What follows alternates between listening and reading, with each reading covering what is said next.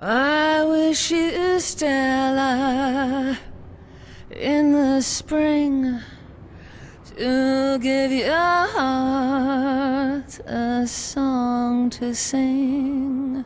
Stella, the first perfume by Stella McCartney, introducing Stella Nude.